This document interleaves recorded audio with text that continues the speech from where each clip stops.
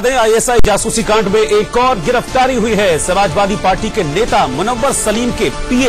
फरहत को गिरफ्तार किया गया है इस वक्त की बड़ी खबर आपको बता रहे एसपी नेता मुनव्वर सलीम का पीए फरहत आईएसआई जासूसी कांड में गिरफ्तार किया गया है बताया जा रहा है की पूछताछ चल रही थी इस सिलसिले में और इस पूछताछ के बाद फरहत को यूपी से गिरफ्तार किया गया है